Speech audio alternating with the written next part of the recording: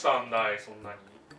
まだまだ大好評発売中新エキスパンションドミナリアあるじゃないですか。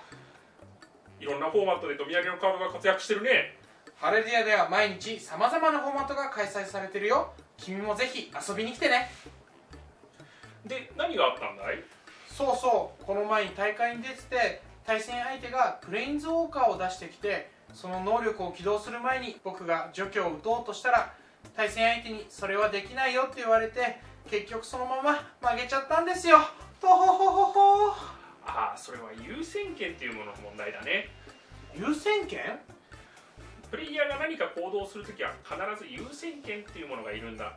でその優先権っていうのは細かくやり取りをしていくとすごく難しいんだけどポイントを押さえていけばゲームを進めるのは非常に簡単になるのでそのポイントを見ていこうかそれでは優先権について解説をしていきましょう。和尚優先権って何ですか？はいマジックにおいて優先権っていうのは自分が行動する権利になります。なので優先権を持っていないと呪文を唱えたりだとか行動を取ることができないので必ず、まあ、何かしらのルールに従って優先権が回ってくるという形になります。なるほど。優先権を持っているプレイヤーは何ができるんですか？優先権を持っているプレイヤーは例えばマナを出したりあとは呪文を唱える。状況によらずであればインスタントであったり瞬足を持っている呪文を唱えることができます。で自分のターンのメインフェーズ中であれば瞬足を持たない呪文インスタントでない呪文も唱えることができるという形になります。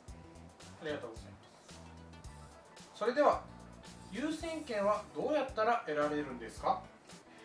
優先権というのはステップの開始時にターンを進行しているプレイヤーがまずは得ます。で優先権を持っているプレイヤーが何もしないことを選ぶと対戦相手に優先権が移ります。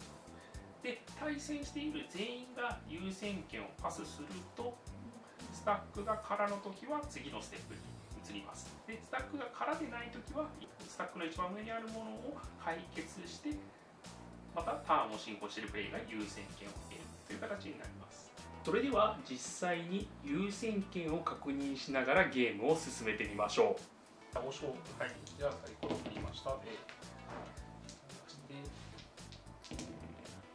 はい、では、和尚が先手になりました。先手を決めれるようになりました。先手で取ります。ではい、キープします。でキープしますお願いします。じゃあ、先手です。アップキープに優先権あります。優先権にパスします。じゃあアップキープの優先権を放棄しますはい、じゃあ、先手なんでドローステップありません。メインフェーズに入ります。じゃあ、土地を置きます。はい、じゃあ、黒マナを出します。じゃあ、拷問室という順を唱えました。優先権をパスします。じゃあ、えー僕はそれに何もしないので優先権を放棄しますじゃあこれが着地しました。また優先権得ました。僕優先権パスします。僕は何もできないので優先権をパスしますじゃあこれでメインフェーズ終了です。戦闘ステップに入りました。戦闘開始ステップの優先権をパスします。じゃあ戦闘開始ステップの優先権を放棄します、はい、それでは攻撃クリーチャー指定ステップに入ります。攻撃クリーチャーいないので0対でアタックします。で、また優先権を放棄します。じゃあ攻撃クリーチャー指定ステップの優先権を放棄しますはいそれでは攻撃クリーチャーが0対の状況なので防御クリーチャー指定ステップと戦闘ダメージステップが飛びスキップされました。戦闘終了ステップに入ります。戦闘終了ステップの優先権を放棄します。戦闘終了ステップの優先権を放棄します。はいそれでは戦闘終了ステップが終わりました。第2メインフェーズに入ります。第2メインフェーズの優先権をパスします。第2メインフェーズの優先権を放棄しますはいそれではメインフェーズが終これで終了しますので最終フェーズ終了ステップに入りました終了ステップの優先権を放棄します終了ステップの優先権を放棄しますはい、でこの状況でクリーンナップステップに入りました。クリーンナップステップでは何もありません。手札も5枚なので何もありません。このままあ田村さんのターンに入ります。じゃあターンをもらいましたこのようにそれぞれのプレイヤーのターンではプレイヤー間で優先権をやり取りしながら進めるのが本来の形となります。ただ実際にはこれらのやり取りを省略して進行する場合が多いですのでお互いに十分コミュニケーションをとってゲームを進めるようにしてくださいもし万が一間違いが起こりそうな時は落ち着いてお互い今はどのステップどのフェーズなのかということを確認したり誰が優先権を持っているかというのを確認して進めることが大事になります。お墨お書ありがとうございます。それでは次のコーナーに行ってみましょう。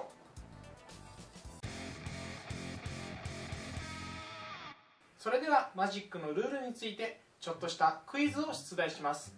あなたはわかるかな？それでは第1問基本編になります。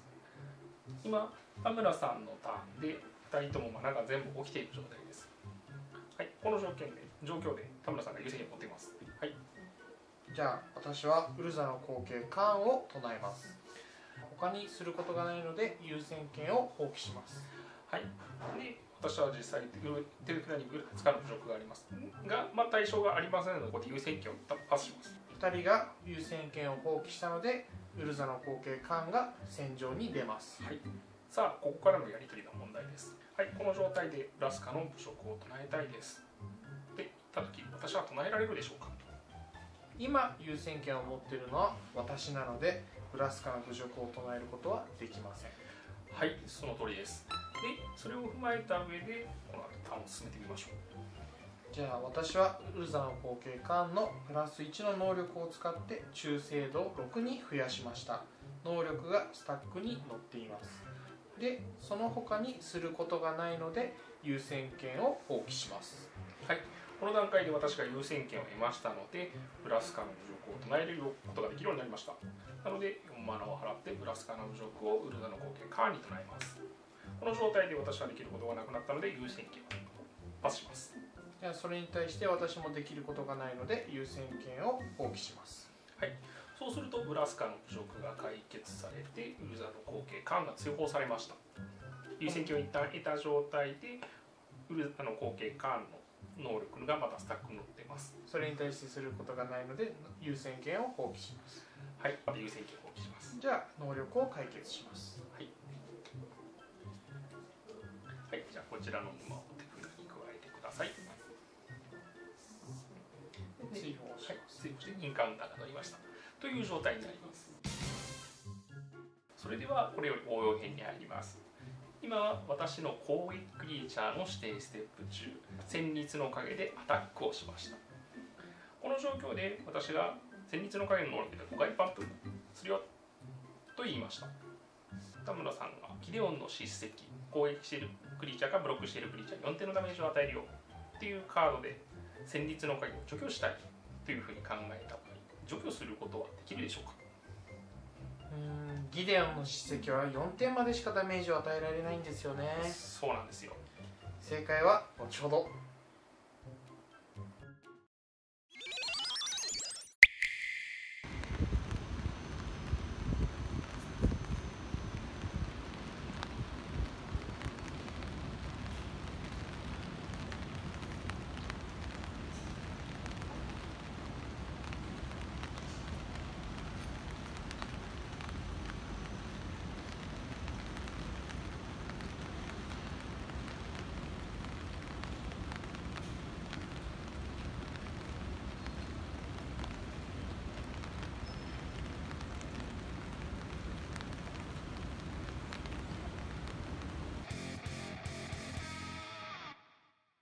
それでは回答編です。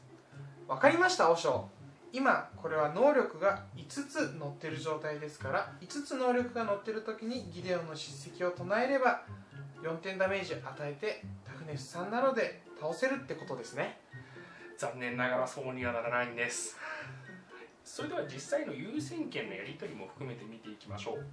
実際のやり取りとしては5回起動するよという宣言を行うとこの状態で1回起動して優先権をやり取りしますっていうのを5回繰り返したりをという扱いになります。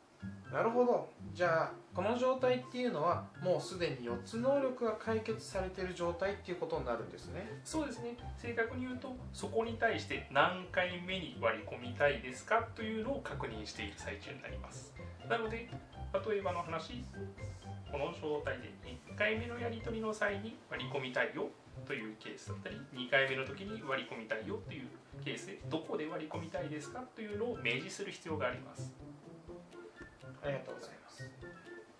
ためになったよ。ありがとうおしょまたルールでわからないことがあったら聞きに来るんだよ。うんわかった。ここまで見てくれたみんなもぜひ画面右下のチャンネル登録ボタンを押して次回の更新もチェックしてね。他にも大隅王将に聞いてみたいルールの質問があったらコメント欄にコメントしてみてください。それでは皆さんバイバイ。バイバイ